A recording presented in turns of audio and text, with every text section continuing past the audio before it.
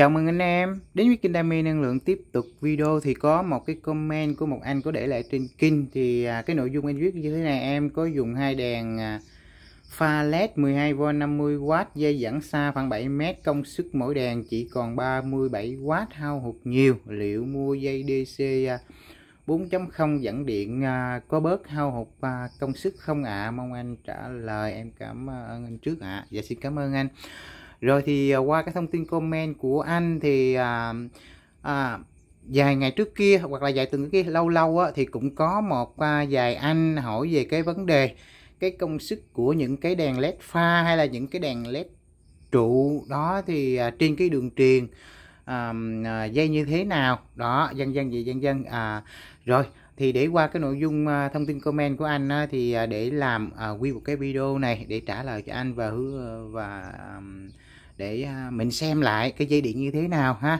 và cái công suất đèn này à, nó ăn à, bao nhiêu ha. Đó, thì anh em mình tính tiếp ha. Đó, để cho anh em có cái nhìn khách quan thì bây giờ ha, bây giờ tôi sẽ dùng cái đồng hồ 4 thông sức thì tôi sẽ đo cái công suất đèn này thì lâu lắm rồi anh em, mà cách nay dài chắc cũng cả hai năm à. Thì những cái đèn này á, tôi đã có đo công suất rồi, đó, nhưng mà đó là những cái video trước đó chắc anh em có thể là à, chưa có xem qua được. Đó thì hôm nay thì tôi cũng làm tiếp tục cái video để cho anh em có cái cái cái cái, cái nhìn nó rõ ràng và cụ thể hơn ha. Đối với những cái đèn này thì ở đây tôi cũng có cái đèn led pha thì ở đây nó ghi là đây nè ha. Không biết à, cái của anh nói có giống cái này hay không? Đó thì anh thấy nè cái công suất nó là 50W ha đó, ở trong nước IP65 thì đèn này có thể là lắp đặt ngoài trời. Nó rất là sáng nha anh. Thì cái gì, giải điện áp của cái đèn này nó dao động rất là lớn, từ 12V đến 85V thì nói chung hệ nào sử dụng cũng được. Đó, nhưng mà cái công suất của tôi đo những cái đèn này thì nó rất là nhẹ điện anh à nó tầm chỉ hình như mười mấy, hai ba mươi watt giờ gì đó đó như thế nào thì một chút nữa tôi sẽ đo ha. Thì à, sẽ biết ha. Thì đối với những cái đèn này với cái công suất dài 30 watt giờ thì anh tính bên hệ 12V thì cái dòng nó ăn lanh quanh đâu đó là một vài A mà thôi. Thì cái dây điện á anh không cần nhất thiết phải mua cái dây điện uh, DC 4 chấm làm gì nó tốn tiền lắm. Đó ha anh chỉ cần à, sử dụng những cái sợi dây điện AC loại phổ thông á, ở địa phương có bán hoặc là ở nhà anh có sẵn á, loại một ly ruột một ly hoặc ly rưỡi là cũng đủ đáp ứng đủ cái đường truyền 7 mét à, với cái dòng mà lanh quanh đâu đó là một hai a rồi ha. Đó không cần nhất thiết phải lên tới cái dây điện là nó 4 chấm mà nó quá đắt đỏ ha. Nó nó nó đã tính ra mua cái đường điện 7 mét thắp cái đèn hình như nó ngang tiền hoặc là mắc tiền hơn cái đèn nữa mà thấy không cần thiết đó ha. Rồi à rồi bây giờ tôi sẽ dùng cái đồng hồ 4 à, thông số này để đo công suất cái đèn này ha anh. Đó thì ở cái đèn này cái dây nó tôi cắt đi rồi, nó còn tầm khoảng chất 1 mét mà thôi. Đó, đối với cái công suất mà dài 30A thì trên cái đường truyền tầm khoảng 7 mét á, anh đi dây là cái luộc cái ruột một ly nha là nó đã đảm bảo đủ cái đường truyền rồi ha, không cần phải dây à, 4 ly đâu ha. Rồi.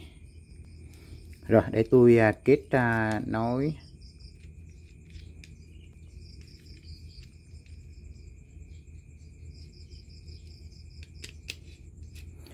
những cái bóng đèn này anh em à, à thời gian qua tôi sử dụng tôi cũng đo kiểm tra rất là nhiều cái à, cái loại bóng đèn DC 12V dạng trụ có rồi à, led uh, dài có led, led thanh anh em mà 5 tách có 1 mét có. Đó và ngay cả bóng DC AC gì á nói chung á thì tôi lúc nào tôi hay cũng uh, kiểm tra. Đó tôi kiểm tra để à, tôi biết để tôi tính cái lượng điện năng nó tiêu thụ mỗi bóng à, các thiết bị điện trong gia đình đó bao nhiêu bao nhiêu. Đó để mình biết mình tính toán cái à, cái lượng điện để mình à, sử dụng ha. Và cái thứ hai nữa thì mình cũng có một cái à, kiến thức tất nhiên là mình phải trang bị cho mình một cái à, kiến thức sẵn trong cái đầu vậy. À, đụng chuyện tới khi mà anh em hỏi tới thì à, mình đã nắm sẵn rồi. Đó mình nắm sẵn rồi thì cái việc mình à, trả lời là ok thôi. Đó thì à, thì qua câu hỏi của anh định trả lời nhưng mà cũng à, vài anh à, đặt cái câu hỏi kỳ trước đó. Đó nên à, thôi làm luôn một cái video. À, nói chung á, nói gì nói nhưng mà nói phải tai nghe mắt thấy là là là là là ok ha. Đó. Để tôi gá cái công dây điện vào đây tôi siết nó cứng lại là ok à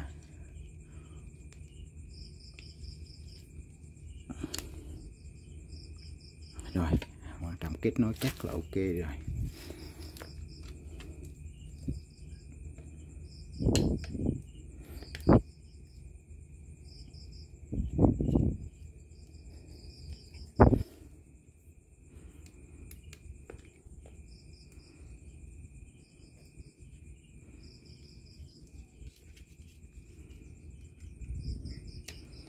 Rồi, còn một đầu của cái à, đèn lại thì tôi sẽ ở đây là cái điện áp của pin nè anh. À, 10 12.8V à, nha. Đó còn một đầu lại cái cọng dây này là cái đầu à, của cái đèn.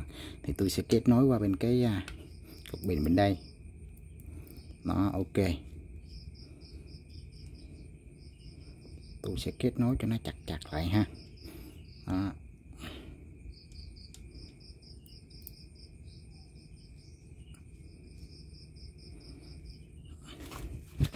Vừa làm á, vừa ôm ôm cái máy vậy nó chung nó hơi khó.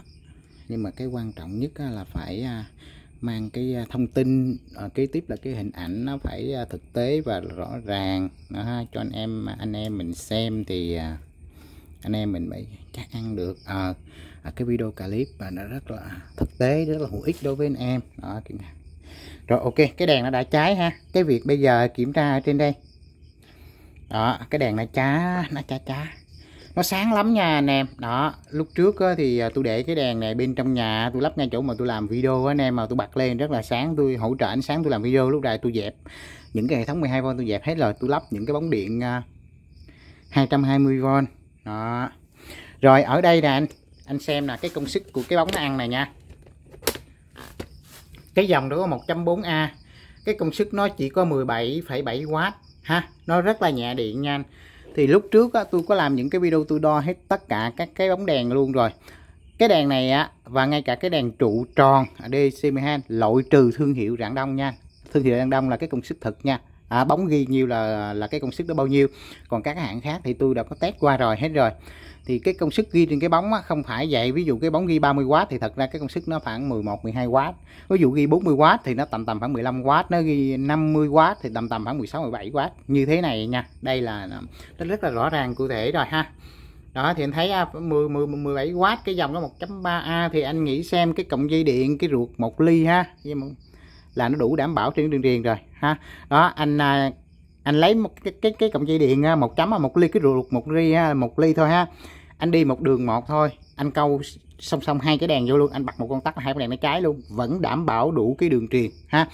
Cái hiện tại mà anh đo anh kiểm tra anh đang thấy là à, à anh tại sao cái bóng đèn nó ghi 50W mà đốt rồi anh đo anh kiểm tra lại là cái công suất nó không được 50W thì cái ở đây là anh đang băn khoăn về cái vấn đề là không biết cái đường dây nó có đảm đủ đảm bảo trên cái đường truyền cho bóng hay không. Cái dây nhỏ nhất hiện tại đó với cái công dòng này á thì có thể là dây uh, ruộng ly ha nó vẫn đủ đảm bảo trên cái đường truyền với bóng đèn của anh là 7 mét nha anh. Đó nên cái việc này anh yên tâm không cần nhất thiết phải mua cái dây DC là 4 chấm dây bên năng lượng Ờ, không cần nha nó tốn tiền nó lãng phí. Đó tại cái loại đèn này á nó nhẹ điện cái công suất nó ghi ảo mà thôi.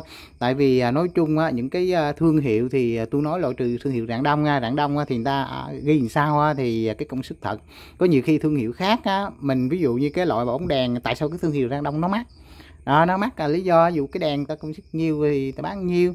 Đó 10W thì uh, cái công suất nó đủ 10W 20 đủ 2W 3W đủ 3W còn những cái thương hiệu khác thì ví dụ như giờ người ta biết rằng cái bóng đèn nó có 10W đây mà ta ghi lên 30W đó. À người ta đánh vào cái tâm lý cái người mà sử dụng á thì à bóng đèn nó nó nó, nó cái công suất nó lớn nó sáng như lắm mà nó lại rẻ. Thôi mình mua cái bóng này về sử dụng. Như thực tế ra người ta mua về sử dụng có ai mà đo như vậy đâu. Ít lắm đúng không anh? Ví dụ như trăm người thì một vài người thì người ta có mấy đầy đủ các thiết bị để người ta cân đông đo đếm. Nhà như tôi vậy đó thì tôi có những cái thiết bị để tôi cân đông đo đếm hết tất cả các điện. Thì mình có cái con số à mình hiểu những cái thương hiệu nào. À cái đèn này nó ghi vậy không phải vậy cái kia à, thì khác. Đó không phải là cái đèn này á, nó có dãy điện áp rộng mà nó ăn bao nhiêu đây đâu nha anh? Lúc mà tôi đo thì à, lâu rồi tôi có làm cái video tôi đo những cái bình này tôi câu lên là 12V ha, à, tôi cũng test tôi đo ha. Rồi 24 36 48 60 72V luôn. Tôi câu tôi nối tiếp mà. Sáu cái bình lên cái điện áp 72V luôn. Lúc đó tôi test mấy cái đèn này nè anh. Đó đèn trụ rồi đèn này kia tôi test á. Thì cái công suất nó y chang vậy luôn ha. Nó không có là phải là có nhiều anh em lúc lúc tôi làm á. Tôi làm y hệt gì nè. Tôi đăng lên kinh á thì có nhiều anh em bảo là à khi nào á cái, cái mình mình mình mình kết nối với cái điện áp 85V thì nó mới là cái công suất đủ. Ha cái công suất đủ đó là 50W đó.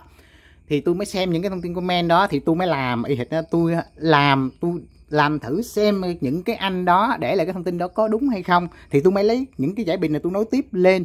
Là tôi nối tiếp là là, là lên à, 72V thì tôi mới đo lanh quanh nó có nhiêu đó à? Nó không hơn nữa. 17W là 17S bây giờ nói tiếp qua hệ 24 á, cũng là lên quanh 10 17W là 36 cũng như đó. 48 60 72 nó cũng có nhiêu đó hả? Chứ nó không hơn nữa. Đó. Rồi thì qua nội dung trong video à, đã rõ ràng hết rồi ha anh. Đó à, cái vấn đề ở đây là anh đã yên tâm rồi. Anh không cần phải là thay đi cái đường dây rồi. Anh cứ vẫn sử dụng lại cái đường dây cũ mà anh đang có. Đối với cái đèn này cái dòng nó có 100 có 1.3A nếu 1.3A đối với dòng này rất là nhỏ. Nếu mà nối tiếp lên à, hệ 24 á, thì cái dòng nó chia hai đó nó còn nhỏ nữa. 0,6 mấy A mà thôi. 0,6 mấy ha, chưa đủ A. Rồi lên hệ 48 vâng cái dòng nó rất là nhỏ nhỏ, nó rất là nhỏ. Tại vì đối với cái công suất 10 10 17W này á, thì điện áp thấp á, thì cái dòng nó cao. Mà lên điện áp cao thì cái dòng trở lại xuống càng thấp thấp. Đó nên cái đường dây của anh anh đi cái dây ruột ly là ok rồi rồi à, video giải đáp chỉ có vậy thôi anh em. Mà đến đây tôi cũng xin tạm dừng. Xin chân thành cảm ơn anh em đã dành thời gian ra xem video kinh đam mê năng lượng. Nếu anh em thấy video tôi hữu ích thì đừng quên cho cái like. Còn anh em nào chưa đăng ký kênh hãy bấm nút đăng ký kênh để tiếp tục đồng hành cùng kinh đam mê năng lượng nhé. Còn bây giờ tôi xin chào và hẹn lại anh em trong video kế tiếp nha.